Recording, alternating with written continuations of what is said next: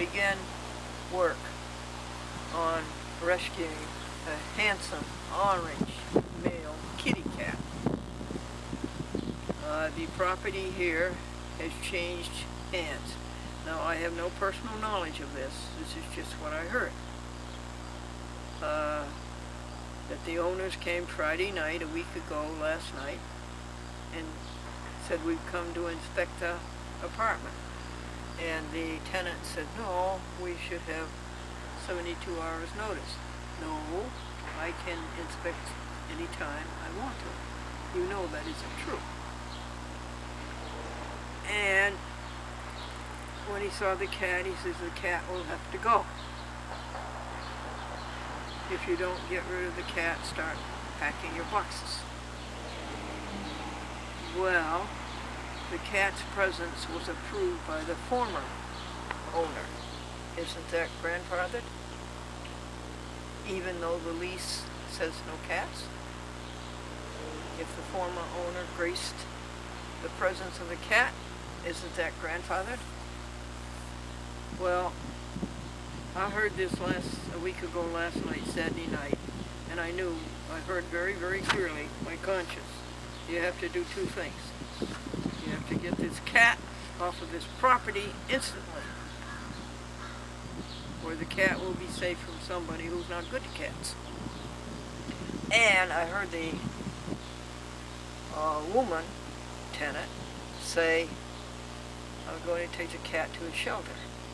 Well, I knew I had to stop that.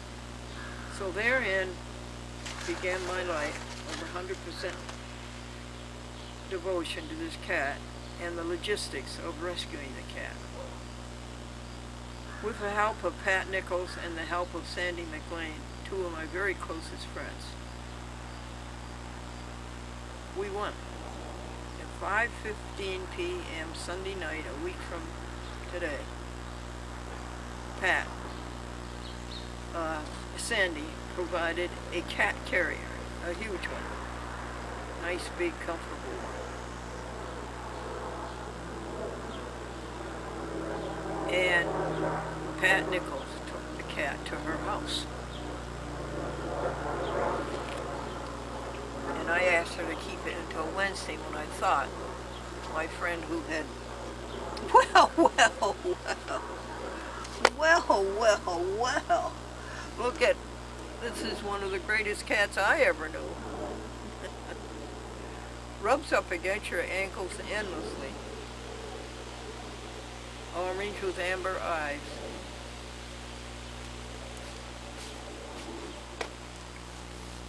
So Pat drove out of the driveway at 5.15 p.m. Sunday night a week ago. And the poor kitty was crying. Oh, he was crying. And he's such a nice kitty. He's orange too, but a deeper orange than this kitty. And he has amber eyes the way this kitty does. He was taken away from his home and his people as a rescue. And he was crying. But he was safe. He was off of this property. And he was safe from the shelter. Well, Monday, I called about 25 people on the phone and 25 people face to face about would you like to have a nice kitty as your companion? No, no, no.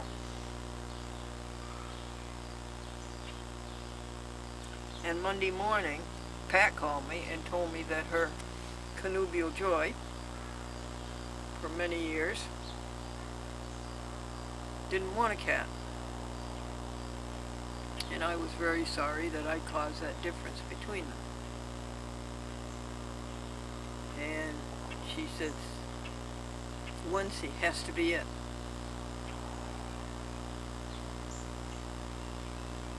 So that's Tuesday. Then I ran into another problem that people make for cats. Uh, a friend of mine has four cats, and this one kitty has stopped going to the litter pen. And the reason why, I think, is that there's a one of the cats persecutes his kitty. When the kitty goes to the litter pad. And so the kitty gets all scared and frustrated. So I offered to take that cat. My thinking there was that was this lovely great big cage, we could make an outdoor kitty oh, of her gradually. Make her an outdoor kitty and then look for a home for the winter. So those were Tuesday's problems. You want to come up in my lap? Sue Casey thinks you're a wonderful cat, and I told you why I couldn't ask Sue Casey to take the kitty temporarily as a foster home because she had 29 people in her house on Sunday. They would be leaving on Tuesday, so she had to recover from that before I ever approached her with the request to save this kitty cat. So comes Wednesday. In the meantime, my friend Tracy Clegg has one of her best friends is Suzanne, and Suzanne is a foster home for Orange Street cats. I remember Orange Street cats. They bought a booth. There was nothing in the booth but a person and a flyer. But they bought a booth at the Albany Vegan Network at their Veggie Fest at the Police Center in Albany. And they brought a booth finding homes for cats. So anyway, Suzanne is a foster home for Orange Street cats. And this was an orange kitty. And my friend Tracy set it all up. And when she told me about Orange Street cats, I told Tracy, listen, whether Suzanne fosters this kitty or not, she's getting $100 donation from me this week. So between 20 telephone calls, Tracy to Suzanne, Suzanne to Tracy, Tracy to Glendora, Glendora to uh, Tracy, uh, Tracy to Pat, and Pat to Tracy. By the way, Sandy went away on uh, to Cape Cod camping because Marie, Andrew's sister, came to visit them from Minnesota. And I think Sandy is pretty smart. She takes them away to camp so she won't have to do the housework. Ah, uh, so Wednesday morning at 10.15, Pat came with the orange cat, who was named Mr. Snuggles by one person and was named Flanagan by me. What can I do for you, orange kitty? With three rings on the tip of your tail like a raccoon.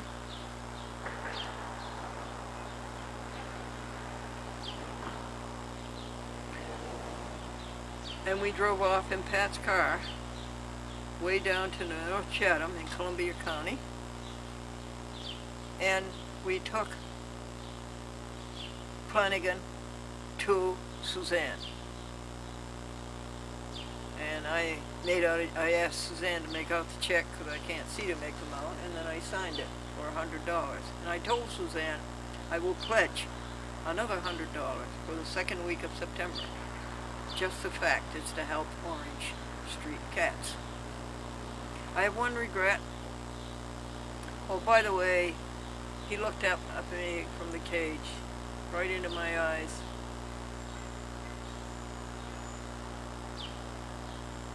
And my eyes tried to explain to him that I've got to rescue him from the pound and from bad ownership.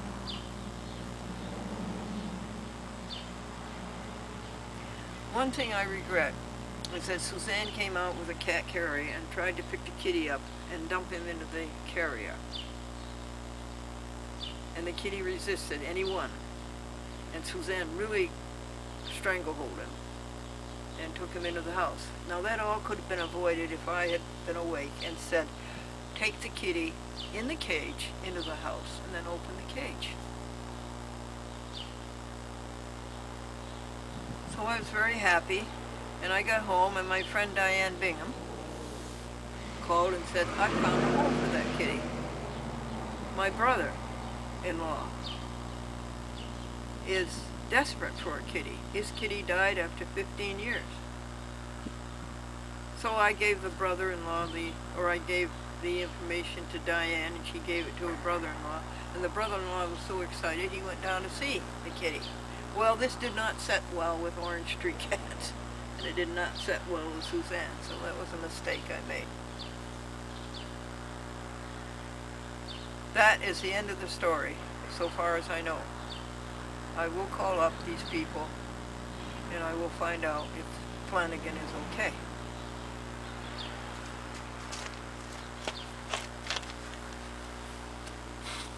Now, of course, no telephoning got done. I do think the end mail got done, though. I think I was able to do the end mail. And my other friend with a kitty who is too afraid to go to the litter pen because another kitty persecutes her, uh, I said I would take that kitty, and I did this by uh, telephone recorder, and I never heard from her. The reason I had to do that is that she said she was going to put the kitty down. That is a chocolate-covered cyanide for murdering the kitty. I'm going to put the kitty down, or we're going to put the kitty to sleep. Face it, what you're doing.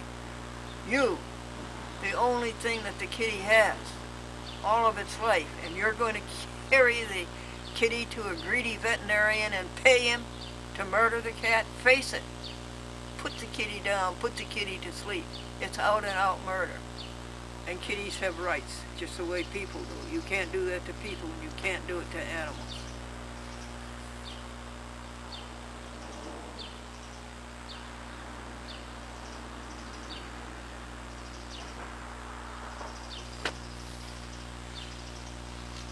I think Wednesday I was able to do some telephoning, but I think Thursday was pretty good. He really got into it. I think I did 30. And Friday, I really got after. Friday is a very important telephoning day because people leave their offices on Friday. And you have to get them before they leave. So I got the telephoning up to date.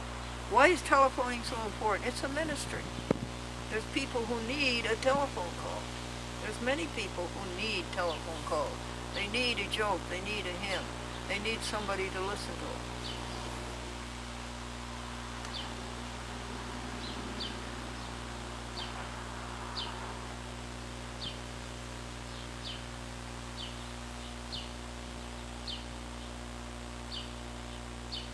Thursday, Pat Nichols, Altruist Universal, uh, sent the article to the advertiser about the 59th meeting of the Glendora Vegetarian Club on August 30th.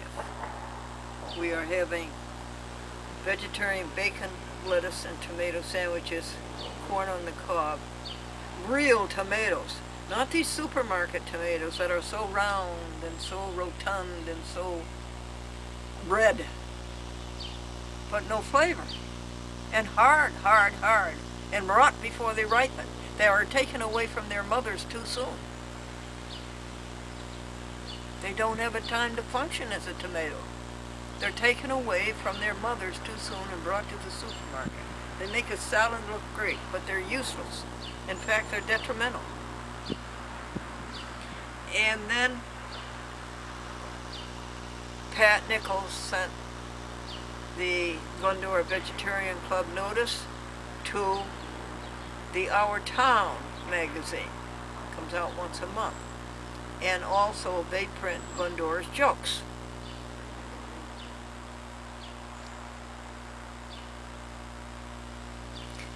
And also on the 30th, we're going to have vegan cake and vegan ice cream. You can get vegan cake and vegan ice cream anywhere. Vegan cookies anywhere. Maybe we'll have vegan cookies instead of vegan cake because Pat has to make the vegan cake. And she does it so well. She has a vegan cookbook. She uses vinegar and uh, baking soda, I think, instead of eggs to hold it together. What do you use to hold yourself together? I use the Joy Book.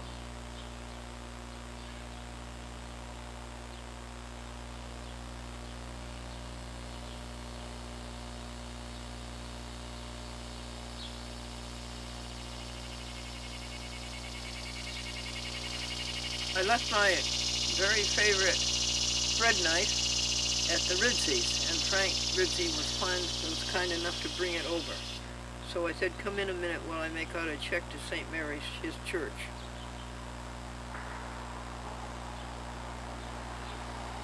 And then Kayla and Jeff, who live upstairs, have two dogs. And the new owners came to them and told them that the dogs were grandfathered. They're on a month to month. They, they lived out their lease April. They didn't sign a new lease. They went month to month. Well, that means that .com is grandfather, grandmother.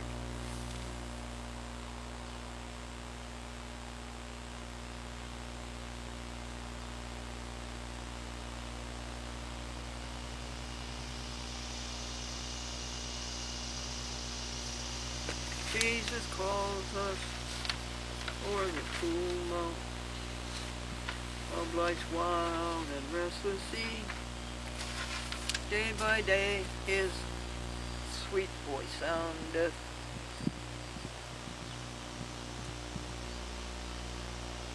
Saying, Christian, follow me. There we are, folks. You're up to a blank page. We're done.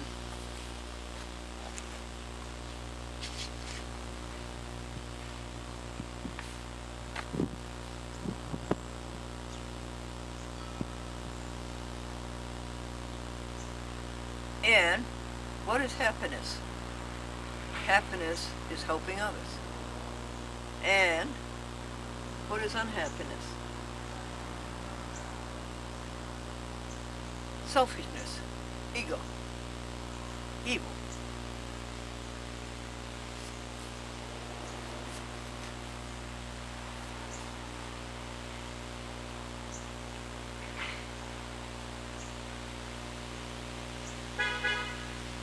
There was another hymn that came to my mind to sing to you. What was it? I was singing it yesterday. Oh Jesus, I have promised. To me, Jesus is helping others. To serve thee to the end. Be thou forever near me. My master and my friend. I shall not fear the battle. Wait a second, we don't have battles. I shall not fear the challenge. If thou art by my side, nor wander from the pathway. If thou wilt be my guide. Sandy, return your phone call. Uh, everything is great here. Hope you're well. Um, but you later. Bye. I didn't make head and hair that one, did you folks? To erase this message, press 7. To send a reply message, press 8. To save it, press 9. To hear message erased. Next message. Hi, Glendora. It's Maxine. It's 7.30 on Saturday. And I love that joke. It's one of my favorite ones about the washing machine. And I did try uh, calling you back earlier when you had originally called, but the line was busy. I just want you to know it is at the big store that I'm home safe in town. I did go out for uh, dinner, and I am, and I made it back. So thank you for thinking of me. I'm doing okay. I'm just going to take it nice and easy at home. So I wish you a good evening, and I hope I'm not disturbing you by this uh, call at this time. But I just wanted to let you know everything was okay. All right, honey. Take care. I'll talk to you soon. Bye. Thank you, dear neighbor and friend. Erase that. End of message. To erase this message, press 7. To send message erased. Next message. I'm Glendora Sandy. Just calling and God. uh, still have Andrew's sister visiting. And uh, Alyssa home for some doctor's appointment. And uh, we had a very nice time. And I will talk to you soon. Bye. Thank you, Sandy. End of message. To erase this message, press 7. To send a reply message, Message erased. You know, I can't see the number view close. messages. Can't see First seven. save I can't see one. Hello, Miss Smith. This is Esther. Raphael, we had a good long talk. She sings hymns to me. She knows so many. I only own, I only own no uh, 57. To erase this message, press 7. To reply message, press 8. Listen to your messages, press 1. Oh no. You have pressed an incorrect key. To listen to your messages, press 1. Hold, put, To send a message, press 2. To change your personal... You have pressed an incorrect key. To listen to your messages, press 1. To send a message, personal option. To turn message waiting indicator on or off.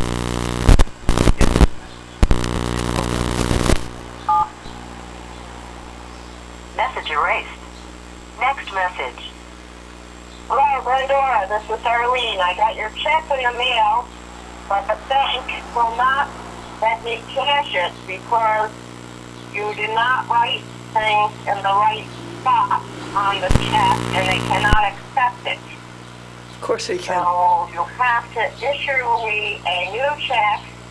And you also put my name down as Marlene. I did issue her a new check. She had to make it out though. And you need to sign your I name signed it. on the line that is provided for you. And the date has to be on the line with the date. So you have to be more Not really. careful writing out It was the wrong checks. person. Took it to the wrong person. Um, call me back is when I can pick up, give you this old check. And so she came by and oh. we did it. And But she also got uh, I can get a straight talk for me through using my credit card. Talk to you later. Bye. 518-596-9867. Bye. End of message. To erase this message, press 7. To send a reply message, press 8. To save this, press... Message erased. Next message. Hi, Glenda. This is Rashida. Just calling to see how you're doing. I'm driving back to New York now. From Los I'm on Angeles. Highway 40, about 190 miles uh, to Albuquerque, New Mexico. I've been on the West Coast and I'm driving back. Okay, take care. Bye. Where did he get the stamina? of message. Wow. To erase this message, press 7. To send a And I called back, but there wasn't any To answer. save it, press 9.